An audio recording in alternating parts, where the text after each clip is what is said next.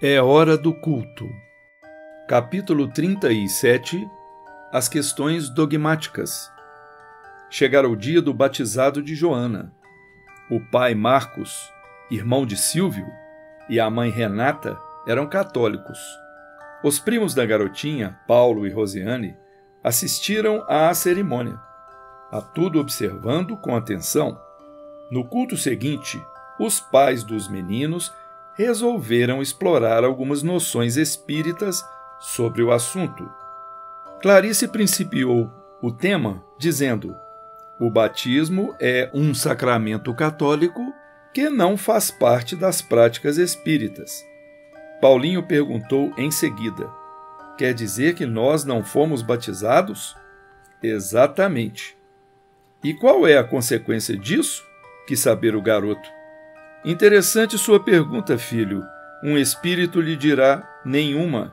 Em contrapartida, os católicos entendem ser o batismo uma providência necessária para que a alma possa habitar o céu. E quem está com a razão? Bem, precisamos refletir. A fé dos espíritas deve ser sempre raciocinada, lembram-se? Os garotos concordaram com um sorriso. Compreendemos que o céu, o inferno, o purgatório e o limbo são criações de religiosos do passado da humanidade que foram adotados como dogmas pela Igreja. Segundo seus fundamentos, todas as pessoas que não forem batizadas não poderão habitar o céu. Apesar de que devemos respeitar os que pensam de forma diferente da nossa, não significa que somos obrigados a aceitar suas crenças. Esse preceito, em especial, condena os que não passam pela cerimônia do batismo a uma vida pós-túmulo não muito agradável. A lógica demonstra que essa linha de raciocínio é injusta com os não católicos. Sim, completou Silvio, podemos lembrar o alerta de Jesus: a cada um segundo as suas obras. Ou seja, as recompensas ou penas futuras não podem estar condicionadas a se ter participado ou não de um ritual estabelecido por uma instituição humana. Elas devem ser uma consequência natural de nossos pensamentos e atos. E isso sim está coerente com a justiça divina. Os meninos continuavam atentos. Clarice retomou a palavra. O motivo de vocês não terem sido batizados é porque seu pai e eu somos espíritas e, pelas explanações que lhes demos agora, julgamos ser uma providência desnecessária. Não estávamos proibidos de fazê-lo, no entanto, preferimos assim. Se no Espiritismo não há batizados, também não há casamentos? perguntou Rose. Boa dedução, filha. Realmente, não existe oficialmente uma cerimônia presidida por um sacerdote para oficializar a união do casal.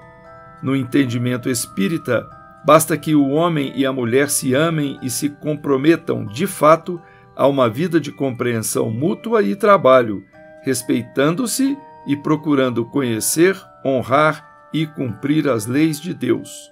O Livro dos Espíritos explica na questão 695 que o casamento é um progresso na marcha da humanidade.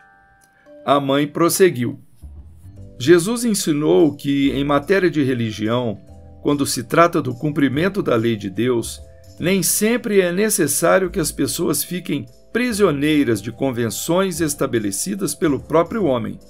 Por exemplo, os judeus entendiam que o mandamento lembrai-vos de santificar o dia de sábado, era uma proibição ao trabalho nesse dia específico.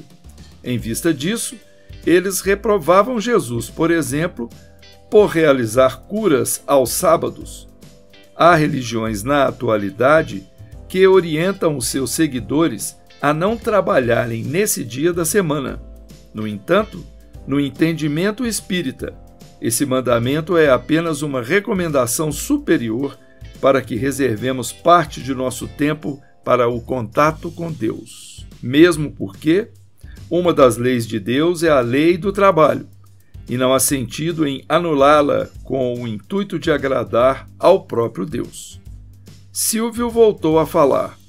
Como vocês percebem, o Espiritismo, como religião cristã, coloca os preceitos divinos acima das convenções humanas, ao mesmo tempo em que incentiva seus adeptos a aprenderem e praticarem os ensinos do Mestre, com o objetivo de se tornarem espíritos mais evoluídos.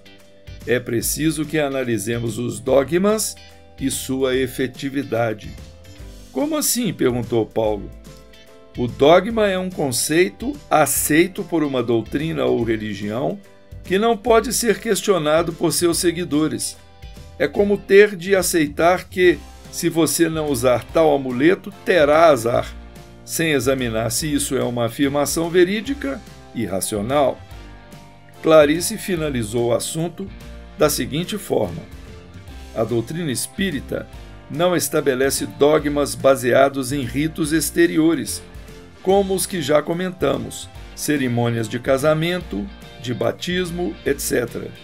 Seus dogmas são, entre outros, a reencarnação e a mediunidade, assim como a imortalidade da alma e a evolução do espírito, princípios coerentes e racionais que explicam a origem e o destino espiritual do homem. Quem sabe responder? Afinal, ser ou não batizado influencia o destino da alma após a desencarnação? Por que no Espiritismo não há cerimônias de casamentos e batizados? O que são os dogmas? Como respeitar as crenças alheias sem ferir ou desrespeitar a sua?